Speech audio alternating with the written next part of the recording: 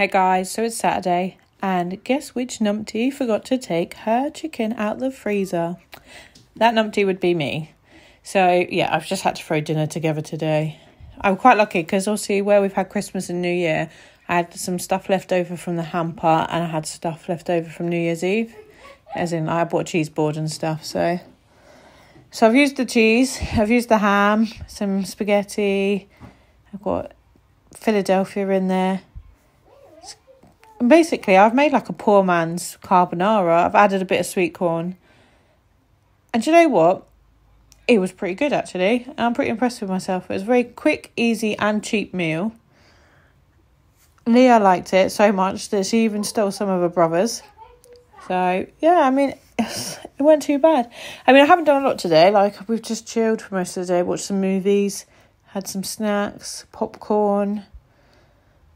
I've cleaned the carpet. It was pointless because I cleaned it and then the kids decided they wanted to play with the Play Doh. I got Play Doh all over my carpet.